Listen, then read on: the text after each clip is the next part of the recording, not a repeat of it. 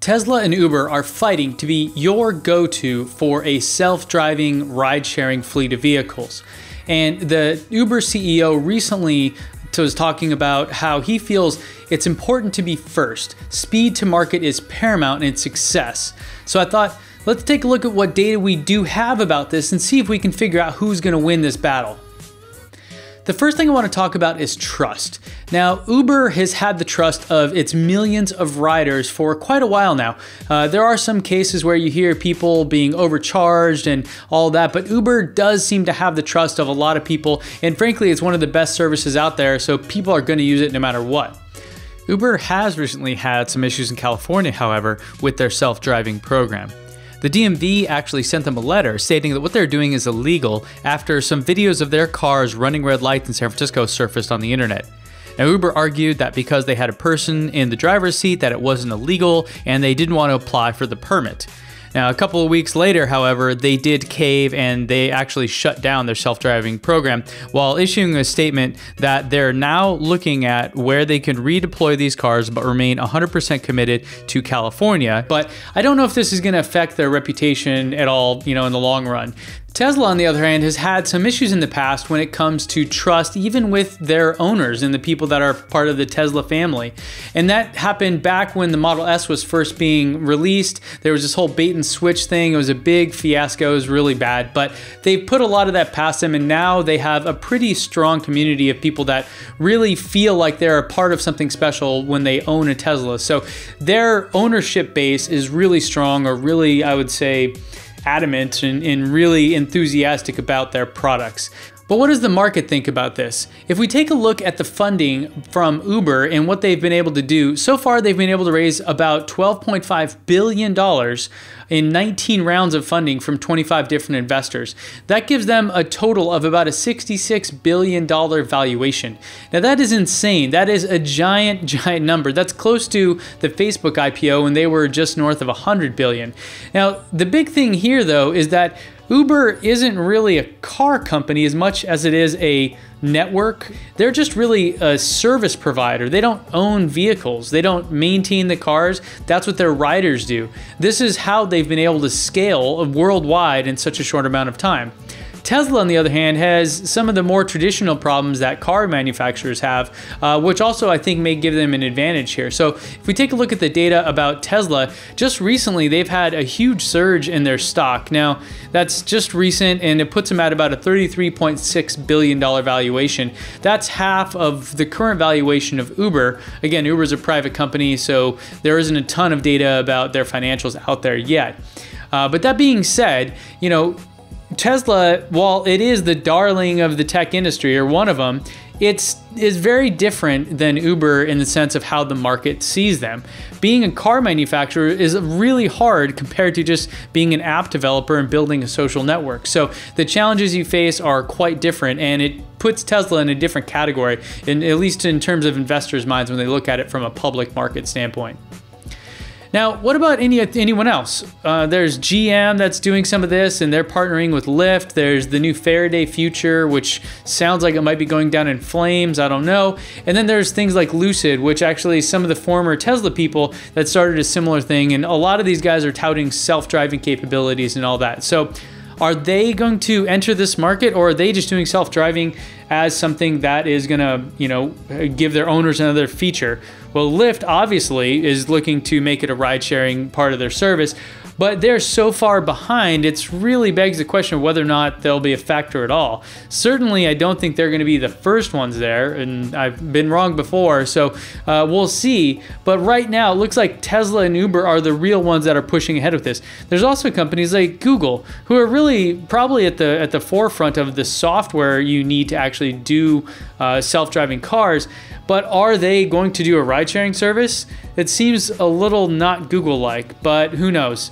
And then what about Amazon? I haven't really heard much from them on this, but chances are they're probably working on it, especially if this rivalry between Elon Musk and Jeff Bezos continues. The next thing to think about is quality. So, simply put, would you rather ride in a Ford Focus or Volvo or a Tesla? Now, Teslas aren't the fanciest cars in the world, as many of you have commented on my other videos. Uh, But if you compare it to, say, a Volvo, which I guess is a nice car, uh, or, or, like a, a, Ford Focus, I really don't see how Uber comes out ahead. Now, the one thing about that though is that, uh, you know, they could partner with anyone out there, right? They could partner with Mercedes or BMW or some of the higher end luxury cars. I mean, honestly, if I'm talking about just luxury comfort ride, I may sit in an Escalade or some kind of fancy SUV or something like that uh, for my dollar. But the point being, Tesla certainly has decent, or I consider them really high quality vehicles with really comfortable rides.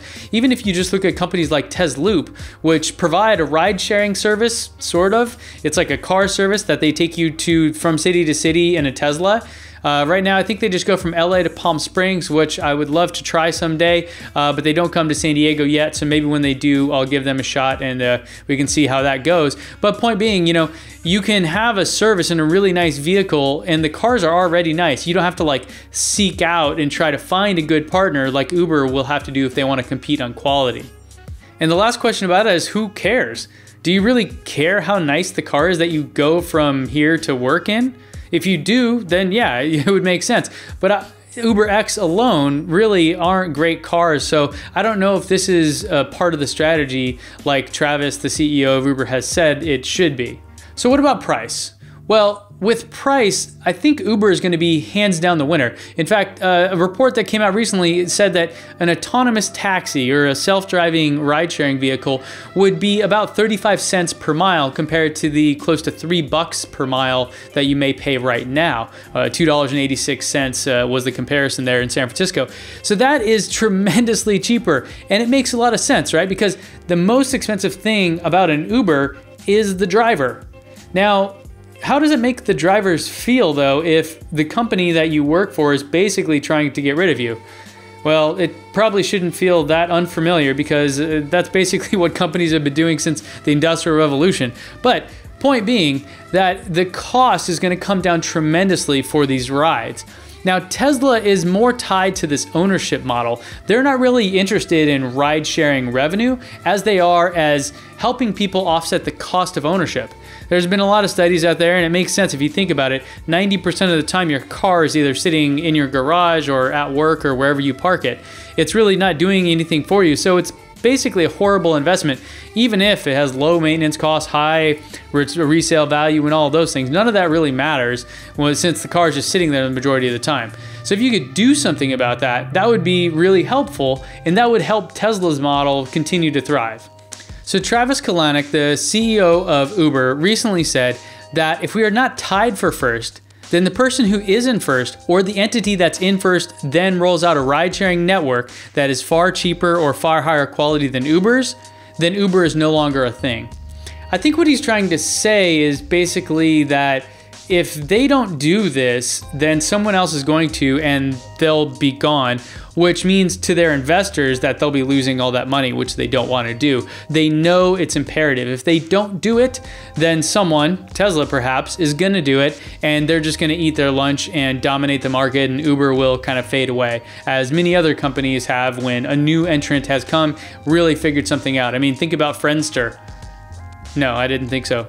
Okay, so the last part of the equation here is speed. So speed to market. This is one of the key things in business when you want to compete. The way they're doing it is they're putting all the hardware and all the new cars, that includes the Model 3, will have the capability to be fully autonomous and have what they're calling the Tesla network. The, the idea where I can sit at home, push a button on my phone, send the car out and have it make me money and come back.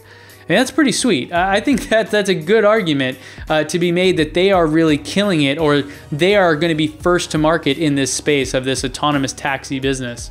In 2016, Tesla will get close to 200,000 cars delivered. And in 2017, with the Gigafactory online and the Model 3 deliveries beginning, they should beat that number pretty easily. Now, for 2018, they said they're aiming to deliver 500,000 cars. So if we take just those two years and give them an 80% chance of hitting those numbers, they're looking at about 560,000 cars on the street that could become self driving with the simple software upgrade. No one is even close to getting this many cars in the market, so we'll see how long Tesla waits to actually launch their Tesla network, considering they'll have such a big head start. When it comes to the money that they're spending too, Tesla hasn't really turned much of a profit yet. I mean, they did in Q3 of this year, finally, which was great. But the reason they don't, and a lot of people hate on them for this, is that they spend all their money on research and development. Not turning a profit doesn't mean you're not making money uh, for anyone that's unfamiliar with that. Not making a profit means that you're doing something with that money, hopefully to push your business forward. Remember, Tesla is an automaker. They're competing with GM and Ford and Volkswagen and these huge, huge companies that have been around for hundreds of years they need to continue to innovate and really invest every dollar they can in that, which is why they've been basically uh, running at a loss here and, and, spending all their money on R&D. So in 2015, Tesla spent just over $700 million in research and development. So if you compare that to Uber during that same time frame, it looks like they estimated around 200 million. So Tesla is tripling their spend on R&D. I mean, they are just killing everybody when it comes to innovating. Now, granted, Uber doesn't really have much to spend R&D on, right? They're doing uh, they have an app which they've pretty much mastered, and then they have to now do the self-driving thing. So the cost of what they're spending their money on would probably be far less considering Tesla has to figure out things like how to manufacture cars, how to make batteries, how to do solar, how to do all the stuff than all the crazy stuff that they're doing. So they have a much bigger kind of uh, plate that they have to work on uh, versus Uber is very kind of much smaller focus, even though it's a much broader scale.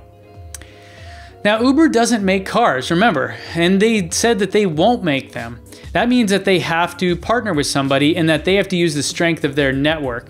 Now, the challenge there is whether or not that that will be enough. Because if you think about it, if cars were a commodity, if there were a dozen manufacturers all selling cars that were self-driving, yes, Uber's strength of their network would win. But that's not the case.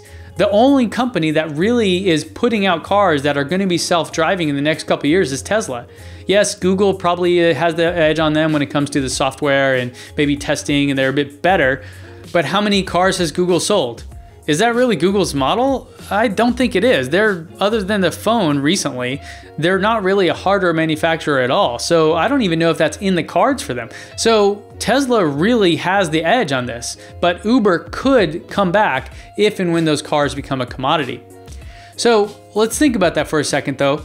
Tesla isn't a ride sharing company. This was kind of a late game fourth quarter decision to try to actually compete with you know this idea of de-ownership or people not wanting to own cars anymore which is certainly a strong headwind for them to try to face so their model is built around you owning a car and Tesla's network, this ride sharing service called the Tesla Network, is really just there to offset the cost of ownership.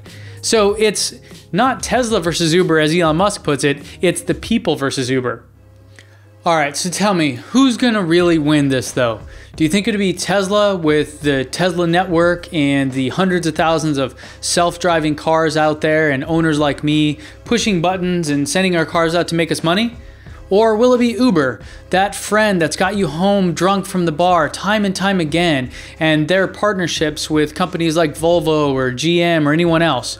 Or is it someone I haven't even thought of, like Faraday Future or Lucid or someone else? Let me know in the comments below. I'd love your feedback on this and all these other comparisons that I do, as well as any other ideas you have for future videos. So please leave them in the comments. I'll reply and we can have a conversation. I really do appreciate it. So thank you so much for watching and I'll see you back here next time.